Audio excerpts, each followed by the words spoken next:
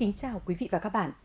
Mời quý vị và các bạn theo dõi chương trình thời sự của Đài Phát thanh và Truyền hình tỉnh Hòa Bình. Chương trình hôm nay có những nội dung chính sau đây.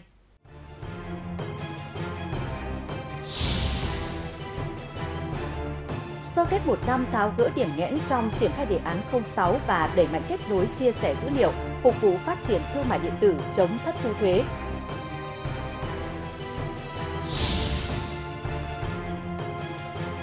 huyện Lạc Sơn quan tâm chăm lo đời sống vùng đồng bào dân tộc thiểu số.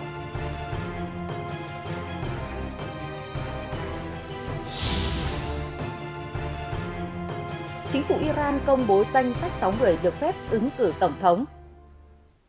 Sau đây là nội dung chi tiết. Thưa quý vị và các bạn, ngày 10 tháng 6, Thủ tướng Chính phủ Phạm Minh Chính chủ trì hội nghị trực tuyến toàn quốc sơ kết một năm thực hiện chỉ đạo của Thủ tướng Chính phủ về việc tháo gỡ điểm nghẽn đề án 06 và đẩy mạnh kết nối chia sẻ dữ liệu phục vụ phát triển thương mại điện tử, nâng cao hiệu quả công tác quản lý thuế. Sự tại điểm cầu tỉnh Hòa Bình có đồng chí Nguyễn Văn Trương, Phó Chủ tịch Ủy ban Nhân dân tỉnh. Phát biểu kết luận hội nghị, Thủ tướng Phạm Minh Chính ghi nhận và biểu dương những nỗ lực cố gắng và kết quả đạt được của các bộ ngành địa phương trong tháo gỡ các điểm nghẽn đối với đề án 06 và thực hiện chỉ thị số 18 để thúc đẩy phát triển thương mại điện tử, đồng thời cũng chỉ ra một số tồn tại hạn chế như tiến độ xây dựng thể chế cơ chế chính sách vẫn chậm so với yêu cầu.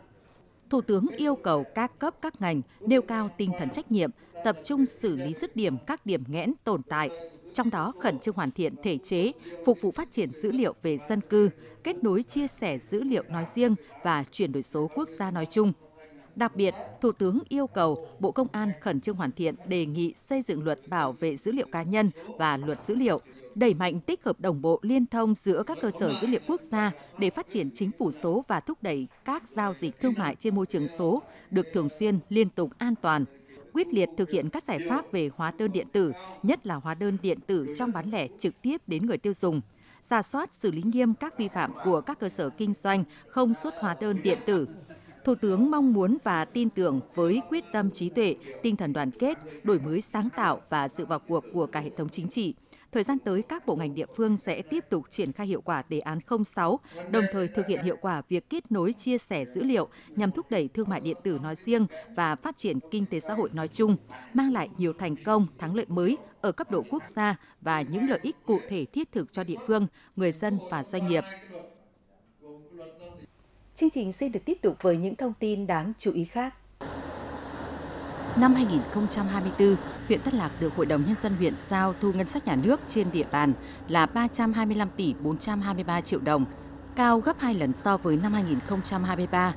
Ngay từ đầu năm 2024, Ủy ban Nhân dân huyện đã chỉ đạo quyết liệt các giải pháp về chống thất thu ngân sách, nâng cao hiệu quả phối hợp tuyên truyền phổ biến chính sách pháp luật thuế, cải cách thủ tục hành chính, đẩy mạnh ứng dụng công nghệ thông tin trong quản lý kê khai, mở rộng dịch vụ nộp thuế điện tử, tổ chức kiểm soát xử lý kịp thời các khoản nợ động thuế, khai thác nguồn thu từ tiền sử dụng đất, đảm bảo tiến độ. Kết quả 5 tháng đầu năm 2024 thực hiện đạt 20 tỷ 900 triệu đồng, bằng 6,5% dự toán Hội đồng Nhân dân huyện giao, bằng 94,1% so với cùng kỳ năm 2023. Để phấn đấu dự toán thu đạt và vượt chỉ tiêu giao, Ủy ban Nhân dân huyện Tân Lạc đang chỉ đạo các cơ quan chuyên môn thuộc huyện, cơ quan thuế theo chức năng nhiệm vụ thẩm quyền, ra soát các kế hoạch phương án cụ thể, có lộ trình, giải pháp, biện pháp thực hiện, đồng thời đẩy nhanh tiến độ đấu giá quyền sử dụng đất, đặc biệt là khu dân cư mới thị trấn Mãn Đức và dự án shop house trên địa bàn. Trong những năm gần đây, huyện Yên Thủy đã có nhiều chính sách khuyến khích người dân doanh nghiệp tham gia phát triển đa dạng các ngành nghề công nghiệp tiểu thủ công nghiệp. Các cơ sở sản xuất công nghiệp tiểu thủ công nghiệp từng bước được đầu tư mới, mở rộng và đổi mới trang thiết bị công nghệ, nâng cao chất lượng hàng hóa, duy trì phát triển ổn định.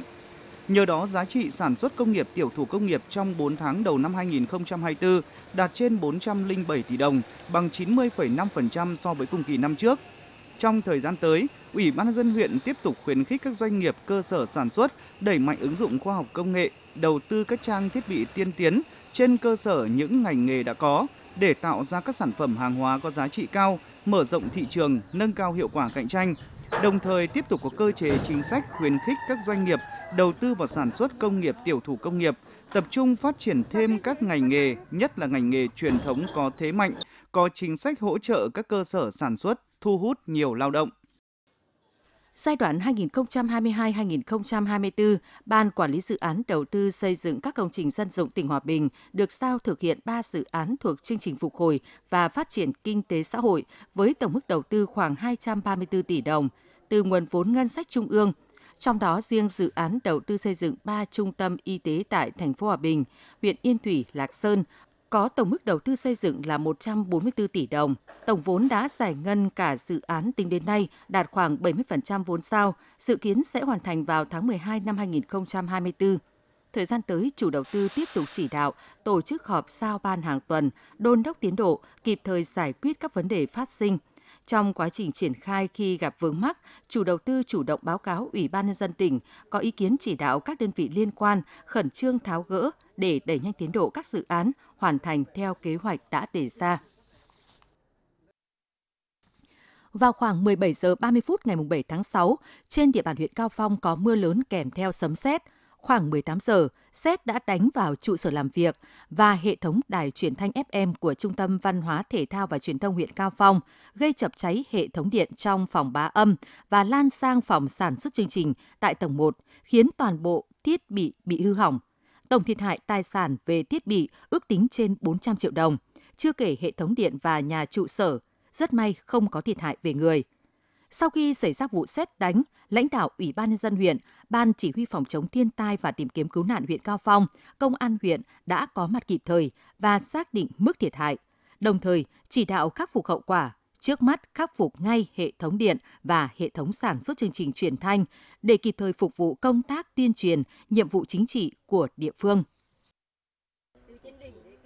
Đà Bắc là huyện vùng cao nhiều đồi núi dốc cao, mưa bão thường xảy ra sạt lở đất đá lũ ống lũ quét. Theo thống kê của huyện Đà Bắc, toàn huyện có 83 trên 122 thôn bản có các điểm nguy cơ cao về thiên tai, với 170 điểm nguy cơ sạt lở đất đá lũ quét thuộc 17 trên 17 xã thị trấn. Để chủ động ứng phó với thiên tai ngay từ đầu mùa mưa bão, huyện Đà Bắc đã chỉ đạo các cơ quan đơn vị chính quyền các địa phương kiểm tra giả soát các vị trí sạt lở đất đá, triển khai các phương án phòng chống thiên tai và tìm kiếm cứu nạn sát với điều kiện thực tế, duy trì chế độ trực ban 24 giờ trên ngày trong mùa mưa bão, chuẩn bị đầy đủ lực lượng, vật tư, phương tiện dự phòng theo kế hoạch, theo dõi sát diễn biến thời tiết, có phương án di chuyển người dân đến nơi an toàn khi có nguy cơ cao trượt sạt đất đá lũ ống lũ quét nhằm hạn chế thấp nhất thiệt hại do mưa bão gây ra.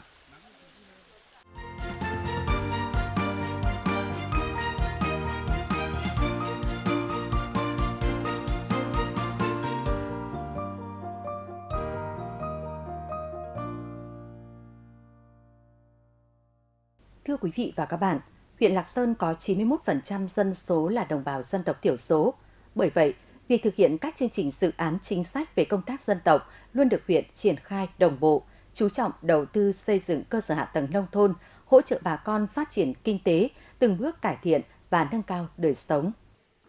Đây là nhà văn hóa xóm Be Trên, xã Trí Đạo, huyện Lạc Sơn, vừa được đầu tư xây dựng và hoàn thành – từ nguồn vốn chương trình mục tiêu quốc gia phát triển kinh tế xã hội vùng đồng bào dân tộc thiểu số và miền núi vào cuối năm 2023. Thêm một nhà văn hóa được khánh thành là thêm một niềm vui đối với địa phương, một xã đặc biệt khó khăn của huyện Lạc Sơn. Bởi với người dân nơi đây, nhà văn hóa là những mái nhà chung chứa đựng đầy ắp những niềm vui, tiếng cười, nơi truyền tải những thông điệp chung thuộc về lòng dân ý đảng nhà nước đầu tư cho cái nhà văn hóa trên 700 triệu cho nên là về đến xóm bây giờ nó xây dựng khang trang cũng đảm bảo cho bà con sinh hoạt trong cái cái khu dân cư điều kiện để phát triển kinh tế cũng như là trong xóm nó, nó tốt hơn. Để cải thiện đời sống của bà con vùng đồng bào dân tộc thiểu số, thời gian qua, huyện Lạc Sơn chú trọng đầu tư xây dựng cơ sở hạ tầng. Từ năm 2019 đến nay, từ chương trình mục tiêu quốc gia phát triển kinh tế xã hội vùng đồng bào dân tộc thiểu số và miền núi, Ủy ban nhân dân huyện Lạc Sơn đã thực hiện đầu tư xây dựng mới, nâng cấp sửa chữa 54 công trình cơ sở hạ tầng với tổng mức đầu tư 104 tỷ đồng. Trong đó xây dựng nâng cấp 32 công trình giao thông. Đến nay 100% xã có đường nhựa và đường bê tông đến trung tâm xã. Đối với xã Chí Đạo thì Ờ, trong cái giai đoạn 2022-2025 này thì xã được tiếp nhận một số cái ờ, nguồn vốn chính sách để hỗ trợ cho bà con, đặc biệt là hỗ trợ cho bà con về cái vốn phát triển kinh tế xã hội trong vùng đồng bào dân tộc thiểu số ấy, thì, thì trên địa bàn năm 2022 được hỗ trợ là à, bốn à, cái tuyến đường giao thông và một cái nhà văn hóa cho cái xóm hiện tại là đang ở đây thì cơ bản là bà con nhân dân là rất là đồng tình và phấn khởi. Cùng với việc đầu tư cơ sở hạ tầng, huyện Lạc Sơn còn giúp đồng bào dân tộc thiểu số tiếp cận, ứng dụng hiệu quả các tiến bộ kỹ thuật vào sản xuất, đẩy mạnh chuyển đổi cơ cấu cây trồng vật nuôi, phát huy tiềm năng thế mạnh từng vùng, hỗ trợ phát triển sản xuất nhằm đa dạng hóa sinh kế cho người dân. Bên cạnh đó, việc nâng cao trình độ năng lực cho đội ngũ cán bộ cơ sở, phát huy vai trò người có uy tín trong cộng đồng dân tộc thiểu số được quan tâm – Đến nay, toàn huyện có 11 xã đạt chuẩn nông thôn mới, trong đó có 7 xã khu vực 2, khu vực 3. Thu nhập bình quân hết năm 2023 đạt 60,3 triệu đồng một người một năm.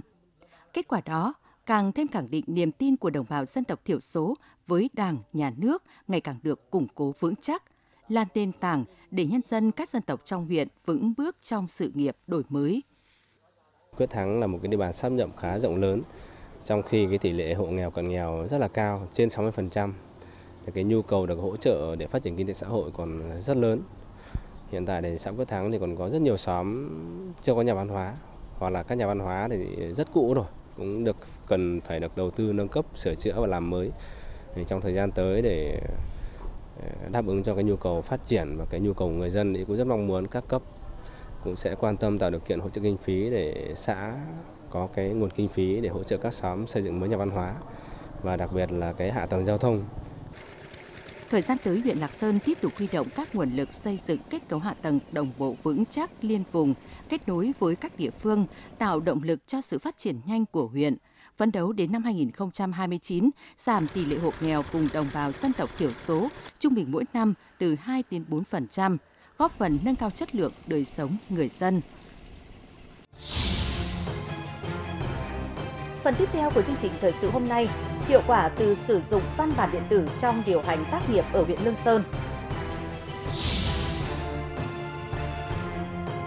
Ý kiến người dân trước thông tin giảm giá sách giáo khoa.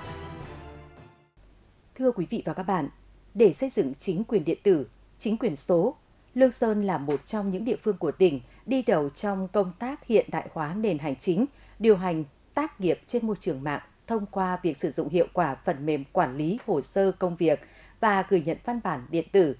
Điều này không chỉ tiết kiệm về thời gian, chi phí mà còn giúp cho việc điều hành chỉ đạo hiệu quả, minh bạch, kịp thời, góp phần đẩy mạnh cải cách hành chính, ghi nhận của phóng viên thời sự.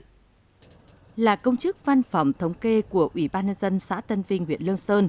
nhiệm vụ chính hàng ngày của chị Bùi Thị Mai Anh là quản lý công văn đi đến, hồ sơ công việc của Ủy ban Nhân dân xã, nếu như trước đây, khi chưa áp dụng phần mềm quản lý hồ sơ, các văn bản đi đến chủ yếu bằng văn bản giấy, nên công việc của chị tốn nhiều thời gian, công sức. Tuy nhiên hiện nay, với việc ứng dụng công nghệ thông tin, sử dụng các phần mềm quản lý hồ sơ công việc đã giúp chị Mai Anh thuận tiện hơn khi cập nhật các văn bản và giải quyết các nhiệm vụ một cách nhanh chóng. Việc đổi mới phương thức làm việc thì sẽ nâng cao được ờ, chất lượng và từng bước ờ, hiện đại hóa được ờ, việc và ứng dụng ờ, triệt để các cái thành tựu khoa học công nghệ vào trong công tác thực thi ờ, nhiệm vụ được ờ, nhanh chóng công tác tham mưu được chính xác hiệu quả và không để chậm trễ sai sót trong việc xử lý công việc. Năm 2016, Ủy ban nhân dân huyện Lương Sơn áp dụng phần mềm quản lý văn bản và điều hành tác nghiệp điện tử VNPT. Đến nay, hệ thống quản lý văn bản điều hành được duy trì ổn định và phát huy hiệu quả 99,5% các phòng chuyên môn, Ủy ban Nhân dân các xã được cấp chứng thư số và sử dụng chứng thư số. 6 tháng đầu năm 2024, các văn bản đến được tiếp nhận trên hệ thống phần mềm quản lý văn bản và điều hành của huyện đạt trên 80%. Các văn bản đi được tiếp nhận trên hệ thống đạt trên 98%. Bộ phận tiếp nhận và trả kết quả huyện đã được đầu tư cung cấp các trang thiết bị hiện đại với hệ thống phần mềm giải quyết hồ sơ từ khâu tiếp nhận đến khâu trả kết quả, đảm bảo kịp thời và đúng quy định đối với công dân và tổ chức. Tuy nhiên, trong quá trình thực hiện vẫn còn gặp một số khó khăn. Đôi lúc thì phần mềm quản lý văn bản đấy thì là nó cũng có một số cái nội dung là bây giờ một số cái văn bản từ năm 2020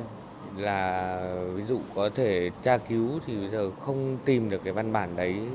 nó hiển thị trên trên trên phần mềm nữa mà lại phải nhờ đội kỹ thuật phần mềm thì là cải thiện được nhiều hơn và tạo được nhiều cái cái cái, cái công cụ có thể là là hỗ trợ được cho cán bộ hoặc là lãnh đạo xử lý được một cách nhanh hơn ấy. Hiện nay, 100% cơ quan, đơn vị cấp huyện, cấp xã trên địa bàn huyện Lương Sơn đã ứng dụng chữ ký số trong giao dịch điện tử và gửi nhận văn bản điện tử. Cùng với đó, việc Lương Sơn đẩy mạnh chuyển đổi số trên các lĩnh vực đã giúp cho việc chỉ đạo điều hành, giải quyết thủ tục hành chính ngày càng thuận lợi, phù hợp với chủ trương quan điểm về xây dựng chính quyền điện tử phục vụ người dân doanh nghiệp trên địa bàn. Thưa quý vị và các bạn, thông tin các nhà xuất bản đồng loạt giảm giá sách giáo khoa trước năm học 2024-2025 đang nhận được sự quan tâm của dư luận xã hội, nhất là các bậc phụ huynh có con đang ở độ tuổi đi học. Ghi nhận của phóng viên Thời sự. Mấy ngày gần đây, chị Kiều Thị Trang ở tổ 14 phường Phong Lâm, thành phố Hòa Bình là phụ huynh có hai con đang theo học tiểu học và trung học cơ sở, rất vui khi biết thông tin nhà xuất bản Giáo dục Việt Nam giảm giá bán sách giáo khoa. Bởi vào dịp đầu năm học mới, nỗi lo về các khoản tiền sách vở, dụng cụ học tập, quần áo và các khoản đóng góp đầu năm học mới cho hai con là một khoản kinh phí lớn. Đối với à, bản thân gia đình thì là có hai cháu đang theo học, à, đặc biệt là cái vấn đề mà đóng góp những cái khoản đầu năm thì cũng à, rất là áp lực như là một gánh nặng. Chính vì thế nên khi mà nghe được thông tin là Bộ Giáo dục giảm giá sách giáo khoa thì bản thân gia đình cũng rất là vui vì cũng là một phần ờ,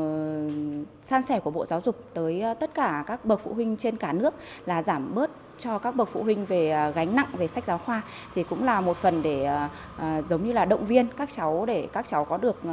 tiếp tục đến trường với những ước mơ và em nghĩ là cái thông tin này cũng rất là hữu ích đối với lại cái sự thay đổi của Bộ Giáo dục hiện nay. Kể từ khi chương trình giáo dục phổ thông 2018 được triển khai tới nay, giá sách giáo khoa luôn là vấn đề nóng, gây nhiều tranh luận trước thềm năm học mới. Tranh lệch giữa giá bán sách giáo khoa mới cao hơn nhiều so với bộ sách cũ, khiến các gia đình tăng gánh nặng về kinh tế. Chính vì vậy, thông tin các nhà xuất bản đồng loạt giảm giá sách giáo khoa năm học 2024-2025 đã nhận được sự quan tâm của dư luận xã hội, đặc biệt là phụ huynh có con ở độ tuổi đi học. Được biết, năm học 2024-2025, Nhà xuất bản Giáo dục Việt Nam thực hiện điều chỉnh giảm giá bán sách giáo khoa tái bản lớp 1, 2, 3, 4, 6, 7, 8, 10, 11, đồng thời xây dựng giá bán sách giáo khoa các lớp 5, 9, 12 xuất bản năm đầu tiên theo cơ cấu giá đã giảm. Cụ thể, giá bìa bộ sách giáo khoa kết nối tri thức với cuộc sống giảm 9,6%, giá bìa bộ sách giáo khoa chân trời sáng tạo giảm 11,2%. Đối với sách giáo khoa các lớp 5, 9, 12, Nhà xuất bản Giáo dục Việt Nam đã xây dựng giá theo cơ cấu giá đã giảm của sách giáo khoa tái bản. Đây là nỗ lực lớn của toàn hệ thống nhà xuất bản giáo dục Việt Nam để có giá sách giáo khoa ở mức thấp nhất vì mục tiêu hỗ trợ học sinh và giáo viên đảm bảo an sinh xã hội. Rất là phấn khởi bởi vì ờ, với trường tiểu học Lê Văn Tám là một trường tiểu học ờ, trung tâm của thành phố Hòa Bình. Tuy nhiên thì trong nhà trường cũng có rất nhiều các em học sinh thuộc các cái diện đối tượng học sinh khác nhau. À, chúng tôi cũng có học sinh thuộc diện hộ nghèo, hộ cận nghèo. Năm nay khi có chủ trương về giảm giá sách giáo khoa thì tôi nghĩ rằng đây là một cái chủ trương hết sức là đúng đắn và à, hợp lòng dân. À, chắc chắn là các bậc phụ huynh cũng sẽ rất là vui mừng bởi vì ừ, cũng có rất nhiều các phụ huynh gia đình có hai con thậm chí là cũng có những gia đình có ba con đang đi học vậy thì cái chi phí để cho các gia đình chuẩn bị cho con trang bị cho con mình những cái bộ sách giáo khoa vào mỗi một dịp đầu năm học cũng là một cái khoản chi phí không nhỏ để đảm bảo chính xác, rõ ràng không gây nhầm lẫn, thuận tiện cho việc quan sát, nhận biết của khách hàng, bảo vệ quyền lợi cho học sinh và người dùng. Bảng giá mới sách giáo khoa sẽ được niêm yết đầy đủ công khai tại các điểm bán sách giáo khoa trên toàn quốc, trên trang thông tin điện tử tổng hợp của Nhà xuất bản Giáo dục Việt Nam và trên các phương tiện thông tin đại chúng theo quy định. Chuyển sang các tin tức quốc tế, ông Narendra Modi đã bắt đầu nhiệm kỳ thủ tướng thứ ba liên tiếp của Ấn Độ sau khi liên minh do đảng của ông lãnh đạo giành được đa số ghế trong cuộc tổng tuyển cử mới nhất. Ông Modi đã tuyên thệ nhậm chức tại dinh Tổng thống ở thủ đô New Delhi hôm Chủ nhật. Ông cam kết thực hiện quyền đối với mọi người theo đúng hiến pháp. Lễ tuyên thệ có sự góp mặt của lãnh đạo một số nước trong khu vực, trong đó có Bangladesh và Maldives. 543 ghế của Hạ viện đã được tranh cử trong cuộc bầu cử. Các cử tri đã bỏ 293 hơn đa số cho liên minh do đảng của Thủ tướng Modi đứng đầu, nhưng bản thân đảng của ông đã phải chịu một thất bại và không thể tự mình đảm bảo được đa số. Các nhà phân tích cho rằng chính phủ của ông Modi sẽ cần đưa ra các quyết định chính sách sau khi tính đến lợi ích của các đảng trong khu vực thành lập liên minh. Chính phủ Iran đã công bố danh sách 6 người được phép ứng cử tổng thống vào ngày 28 tháng 6. Hầu hết các ứng viên theo đường lối cải cách và ôn hòa đều bị loại. Bộ Nội vụ Iran hôm Chủ nhật đã công bố danh sách ứng cử viên cho cuộc bầu cử được triệu tập sau khi Tổng thống Ebrahim Raisi qua đời trong một vụ tai nạn trực thăng vào tháng trước. 80 người đã nộp đơn ứng cử. Hội đồng giám hộ gồm các luật sư Hồi giáo và những người khác chỉ chấp thuận 6 người trong số họ làm ứng cử viên sau khi kiểm tra trình độ của họ, chẳng hạn như lòng trung thành với cơ sở Hồi giáo của đất nước. Sáu người này bao gồm Chủ tịch Quốc hội Mohammed Qualibab, cựu chỉ huy lực lượng vệ binh cách mạng Said Jalili, thị trưởng Tehran Zakani, nhà lập pháp Pezeshkian, cựu Bộ trưởng Nội vụ Mostafa Puamo Hamadi và chính trị gia Ami Hossein Hashemi. Bộ trưởng nội các thời chiến Israel Benny Gantz đã rút đảng trung dung của ông khỏi chính phủ liên minh của Thủ tướng Netanyahu với lý do ông Netanyahu thiếu chiến lược thời hậu chiến ở Gaza. Trong một bài phát biểu trên truyền hình, ông Gan giải thích ông Netanyahu đang ngăn cản Israel tiến tới một chiến thắng thực sự. Ông nêu rõ đó là lý do tại sao đảng của ông rời chính phủ khẩn cấp. Ông Gan cũng kêu gọi bầu cử sớm, nói rằng cần có những cuộc bầu cử để cuối cùng sẽ thành lập một chính phủ chiếm được lòng tin của người dân và có thể đối mặt với những thách thức. Về phần mình, ông Netanyahu đã đưa ra một tuyên bố ngắn gọn kêu gọi ông Gan không từ bỏ mặt trận, nhưng sự ra đi của ông Gan sẽ không gây nguy hiểm cho đa số 64 ghế trong Quốc hội, 120 ghế do Liên minh cánh hữu cầm quyền nắm giữ. Hàn Quốc đã nối lại việc phát sóng các thông điệp chống Bình Nhưỡng dọc biên giới để trả đũa việc Triều Tiên thả bóng bay chở xác vào nước này. Triều Tiên ngay lập tức đã có cảnh báo về những phản ứng mới. Hàn Quốc đã tái kích hoạt các chiến dịch loa phóng thanh chống lại Triều Tiên lần đầu tiên sau 6 năm. Động thái này được đưa ra sau khi Hội đồng An ninh Quốc gia của Tổng thống hôm Chủ nhật bật đèn xanh tăng cường các biện pháp trả đũa, việc Bình Nhưỡng tiếp tục thả bóng bay chở chất thải vào Hàn Quốc. Các chiến dịch loa phóng thanh đã chính thức bị đình chỉ vào năm 2018 như một phần của thỏa thuận quân sự liên triều nhằm xoa dịu căng thẳng dọc biên giới. Lần phát sóng cuối cùng là vào năm 2016 như một phản ứng trước vụ thử hạt nhân lần thứ tư của Triều Tiên.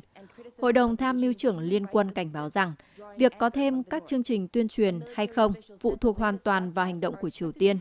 Tuy nhiên, Triều Tiên không lùi bước. Nước này đã gửi thêm bóng bay chở rác vào cuối Chủ nhật sau khi các chương trình phát sóng của Hàn Quốc nối lại.